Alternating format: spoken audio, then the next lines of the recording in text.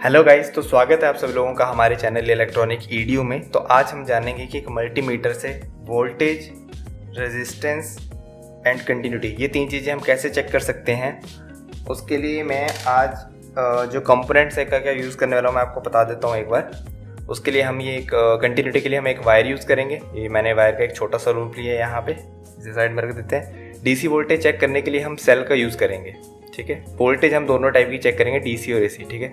DC के लिए हम ये सेल यूज़ करेंगे डबल ए बैटरी वाला, डेढ़ वोल्ट का सेल जो सभी को घरों में मिल जाएगा ईजिली और एक मैं रेजिस्टेंस मैंने कहीं से अरेंज करा है वन किलो का, ये आप देख सकते हैं, मैं आपको स्क्रीन पे दिखाने की कोशिश करता हूँ। अगर आप ये देखिए वन के वन के दिख रहा है ना आपको? तो ये एक किलो का रेजिस्टेंस है हमारे पास। और ये पाँच ओम की इसमें सॉरी पाँच परसेंट की इसमें टोलरेंस के साथ। तो पाँच परसेंट की टोलरेंस इसमें चलेगी और एसी सोर्स के लिए मैंने ये एक्सटेंशन बोर्ड को मैंने पीछे से पावर अप कर लिया है, ठीक है? इससे हम एसी वोल्टेज चेक करेंगे, ठीक है? तो चलिए वीडियो को शुरू करते हैं। तो अभी कंपोनेंट्स को हम कर लेते हैं साइड में ओके तो जैसा कि आप सभी लोग जानते हैं कि जो हमारी वोल्टेज और रेजिस्टेंस है, वो पैरेलल में चेक होती है ओके ये सभी को क्लियर ही है। सब जानते हैं। तो मैं ये जो तीन पोर्ट्स हैं, इनका क्लियर कर देता हूँ। इसमें तीन पोर्ट्स रहते हैं हमेशा मल्टीमीटर में। एक आपको कॉमन मिल जाएगा, एक आपको वोल्टेज का मिल जाएगा और एक आपको करंट का मिल जाएगा। ये जो ए मतलब एम्पियर मीन्स ये करंट का पोर्ट है, ठीक है। तो ये क्यों अलग अलग दिए होते हैं, इसको मैं क्लियर कर देता हूँ कि ये हमारा पैरेलल कनेक्शन है। कॉमन प्लस वोल्टेज का जो हमारा कनेक्शन है, ये हमारा पैरेलल कनेक्शन है। और जो हमारा कॉमन प्लस करंट का जो कनेक्शन है, ये हमारा सीरीज़ का कनेक्शन है। क्यों? क्योंकि करंट को हम सीरीज़ में चेक करते हैं और वोल्टेज को पैरेलल में चेक करते हैं। इसलिए हमें ये दो पोर्ट्स की ज़रूरत पड़ी अलग अलग ठीक है? इतना क्लियर है? अगर किसी के दिमाग में ये डाउट हुआ, ये तीन पोर्ट्स क्यों होते हैं? हम वोल्टेज को या करंट पे वाले पोर्ट पे क्यों चेक नहीं करते? या करंट को हम या वोल्टेज वाले पोर्ट पे चेक क्यों नहीं करते? तो वो डाउट आपका क्लियर हो गया होगा। ठीक है? ठीक है। तो जो हमारे कॉमन पोर्ट है, ये हमारा नेगेटिव रहता है। और ये जो वोल्टेज वाला पोर्ट है, ये पॉजिटिव रहता है। तो चलिए, आज की वीडियो को शुरू करते हैं। तो कॉम्पोर्ट में यहाँ हमने ये अपना जो नेगेटिव टर्मिनल यहाँ पे हम ब्लैक वायर लगाएँगे, ये हमारा नेगेटिव टर्मिनल हो गया। और वोल्टेज वाले पे हम रेड वायर लगाएँगे, ये हमारा पॉजिटिव टर्मिनल हो गया। ओके ठीक है? तो कंटिन्यूटी चेक करने के लिए हमें हमारे मल्टीमीटर पे ये जो बीप वाला लोगो है, या स्पीकर का जो लोगो है, आप कुछ भी बोल सकते हैं, ठीक है? ये आपको हर मल्टीमीटर पे मिल जाएगा। इसके लिए हमें इस पे से सेट करना होगा ओके तो अभी मैं आपको सिंपली दिखाता हूँ। ये हमारे पास दो वायर्स हैं जो इसमें लगी हुई हैं। सबसे पहले तो हम इसकी कंटिन्यूटी चेक करेंगे, ठीक है? मीन्स ये वायर्स ओके हैं। कंटिन्यूटी आ रही है, ये वायर्स ओके हैं ओके अब हम किसी और चीज़ की कंटिन्यूटी चेक कर सकते हैं। तो कंटिन्यूटी चेक करने के लिए हमने क्या लिया है? एक सिंपल वायर ठीक है? जब आप किसी भी वायर को यहाँ पे सेलेक्ट करोगे, दोनों टर्मिनल्स पे तो ये आपको बीप की आवाज़ आएगी। बीप आ रही है इट मीन्स कंटिन्यूटी ओके है वायर में कहीं भी ब्रेकेज नहीं है। अगर मान के चलो ये वायर को अगर मैं बीच से ब्रेक कर दूँ, एक सेकंड ऐसे ब्रेक कर देता हूँ। लीजिए। ये मैंने दो लूप कर दिए। अब ये वायर बीच से वायर ब्रेक हो गई है। अगर अब मैं इन पॉइंट्स पे ये अपने टर्मिनल्स को लगाऊँगा तो अब कंटिन्यूटी नहीं मिलेगी। ठीक है? इट मीन्स ये वायर ब्रेक है। कंटिन्यूटी का अब आपको शायद यहाँ से क्लियर हो गया होगा कि कंटिन्यूटी का क्या मतलब होता है। अगर हमें पूरा एक पाथ मिल रहा है इट मीन्स कंटिन्यूटी हमारी ओके है और यह वायर भी हमारी ओके है। और अगर हमें बीच में से कंटिन्यूटी लाइक अगर ऐसे नहीं मिल रही इट मीन्स वायर कहीं ना कहीं बीच से ब्रोकन होगी। ठीक है? तो ये कंटिन्यूटी वाला पॉइंट तो यहाँ से क्लियर हो गया ओके अभी हम चलते हैं रेजिस्टेंस पे। तो उसके लिए हम ये वन किलो ओम का रजिस्टर यूज़ करें, जो मैंने आपको पहले भी दिखाया था ओके इसके लिए मैं आपको यहाँ दिखा देता हूँ मल्टीमीटर पे। ये हमारा यहाँ पे आपको ओम का लोगो दिख रहा होगा, और ये हमारी रेजिस्टेंस की वैल्यू है, ठीक है? ये बता रहा है कि ये 200 ओम के रजिस्टर को लेके 2000 किलो ओम तक के रजिस्टर को चेक कर सकता है या इतनी रेंज तक की रेजिस्टेंस ये चेक कर सकता है। 200 ओम से 2000 किलो ओम तक, ओके? तभी मैं आपको दिखाता हूँ कि जो अभी हमारा वन किलो ओम का रजिस्टर है, ठीक है? उसको मैं चेक करके बताता हूँ। वो हमारा 200 ओम के रेजिस्टेंस में नहीं आएगा, ओके?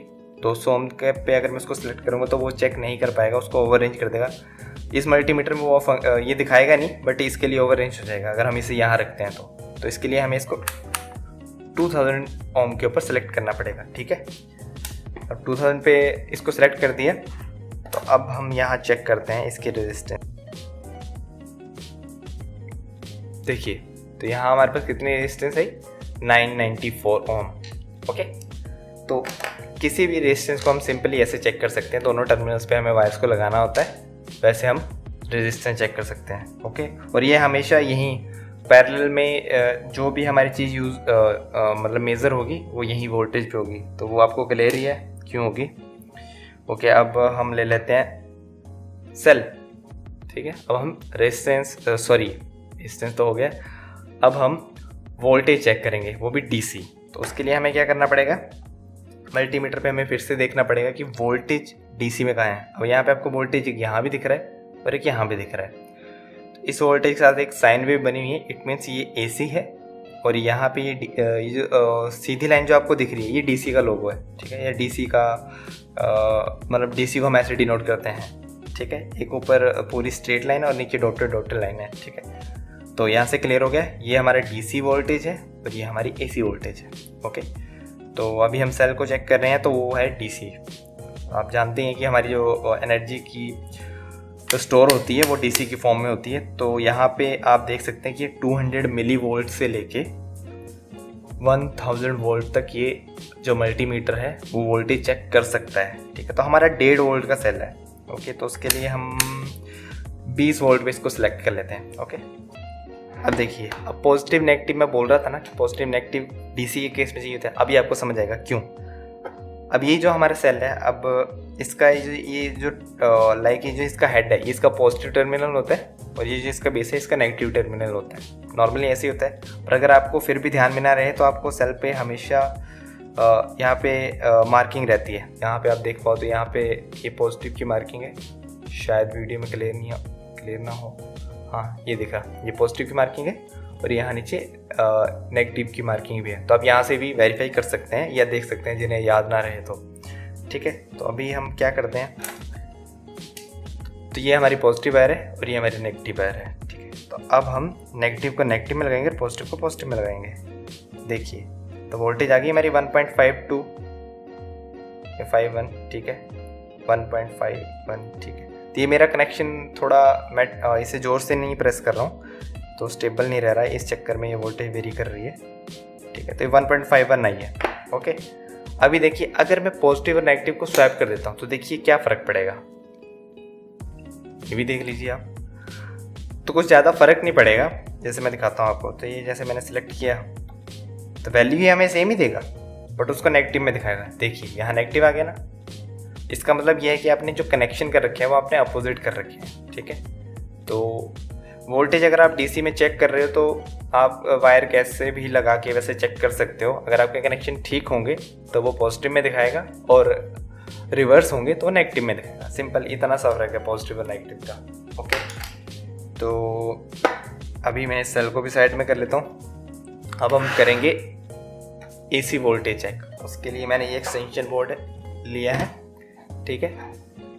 तो एक्सटेंशन बोर्ड कि हम यहाँ से जो वोल्टेज चेक करेंगे। तो ठीक है। तो मैंने इसको सिंपली पीछे से सप्लाई दे रखी है। अभी मैं आपको वीडियो में दिखा नहीं पाऊँगा बट मैंने यहाँ दे रखी है। वो आपको क्लियर होगा कैसे देते हैं, वो तो सभी जानते ही हैं। तो अभी यहाँ पे आप देख सकते हो कि अब हमें वोल्टेज चेक करनी है एसी तो ये रही हमारी वोल्टेज एसी में ओके तो हमारी जो नॉर्मल घर पे वोल्टेज रहती है, वो 220 से 240 वोल्ट के बीच में रहती है। ओके? और इसकी जो रेंज है ये 200 वोल्ट से लेके साढ़े सात सौ वोल्ट तक है। ओके? तो अगर अभी मैं 200 पे सेलेक्ट करूँगा तो ये मेज़र नहीं कर पाएगा क्योंकि इस पॉइंट पे ये मैक्सिमम 200 वोल्ट ही चेक कर पाएगा। तो उसके लिए, उससे बचने के लिए हम इसको साढ़े सात सौ पे सेलेक्ट कर देंगे। क्योंकि हमारी नॉर्मल वोल्टेज 220 वोल्टेज तो इंडिया में सभी घर के घरों में आती ही है। तो ठीक है तो चलिए हम, हमने यहाँ वोल्टेज को एसी पे सेलेक्ट कर दिया है।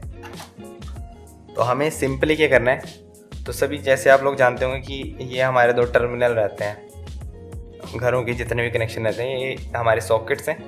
एक टर्मिनल लेफ़्ट एक राइट इन दोनों में से कोई एक फेस होगा एक आ, एक फेस होगा एक न्यूट्रल होगा ठीक है? अभी हम वेरीफाई तो नहीं कर पाएँगे। उसके लिए अगर आप किसी के पास टेस्टर है तो आप उससे वो ज़रूर चेक कर सकते हैं कि कौन सा फेसर कौन सा न्यूट्रल ठीक है? बट हमें उसकी कोई ज़रूरत नहीं है अभी।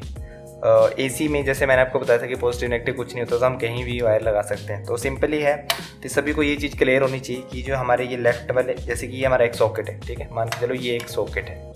ये एक सॉकेट है तो इसमें ये लेफ़्ट के दो हैं और ये राइट के दो हैं। तो जो हमारे, ये दोनों आपस में शॉर्ट होंगे, ये दोनों आपस में शॉर्ट होंगे। तो मीन्स या हम मान लेते हैं कि ये फेस और ये न्यूट्रल है, ठीक है? तो ऐसा नहीं हो सकता कि ये दोनों फेस और ये न्यूट्रल ये चीज़ सभी को क्लियर होनी चाहिए, ठीक है? लेफ़्ट के दोनों पोर्ट आपस में शॉर्ट होते हैं और राइट के दोनों जो हमारे ये, जो पोर्ट बोल सकते हैं, ये दोनों आपस में शॉर्ट होते हैं, ठीक है? तो हमें हमेशा जब भी वोल्टेज चेक करनी है तो इन दोनों के बीच में चेक करनी है, ना कि ऊपर नीचे, ठीक है? अगर ऊपर नीचे किया तो गलत हो जाएगा शॉर्ट है ये, पटाखा हो जाएगा, ओके? तो इस चीज़ का ज़रूर ध्यान रखें। तो कभी भी जब वोल्टेज चेक करनी है तो आमने सामने करनी है, ऊपर नीचे नहीं करनी है, ओके? ठीक है? क्लियर है? तो चलिए हम यहाँ से चेक कर लेते हैं।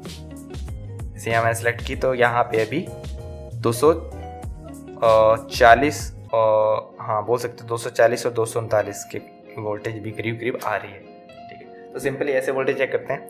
तो ये मैं अभी आपको करके बता नहीं सकता, ना आपने ये ट्राई करना है जो ऊपर और नीचे, ठीक है? ये बहुत रिस्की है 240 वोल्ट आपस में हो जाएगी पटाखा हो जाएगा, ठीक है?